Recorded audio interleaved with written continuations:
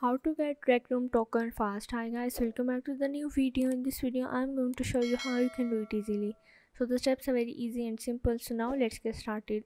First of all you have to go your rec room and once you are in you have to play it for the home. And after that you have to go back and open up the new tab. And here you have to search for the rec room token and scroll down and click on the token shop recnet